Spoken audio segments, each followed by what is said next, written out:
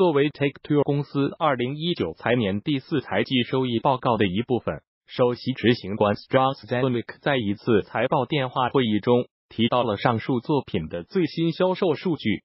不过，《荒野大镖客二》的销量增速已明显放缓。在上一季度的财报电话会议中，Take Two 曾公布游戏的出货量已达到两千三百万份，而这次只比上一季度的销量增加了一百万份。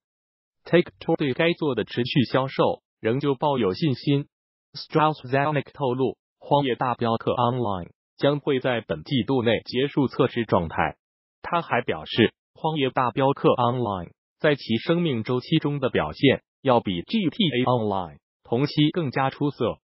不过，根据 SuperData 之前发布的数据显示，《荒野大镖客 Online》总体表现良好，但其营收能力还没有达到。GTA Online 的高度，在今年一月份，《荒野大镖客 Online》的收入只有 GTA Online 的五分之一。Take Two 在最近的财报会议中没有透露《荒野大镖客 Online》及 GTA Online 的营收数额，或是每月活跃用户的具体数字，但该公司明确表示，有超过九千万名玩家参与了二星旗下游戏的在线模式。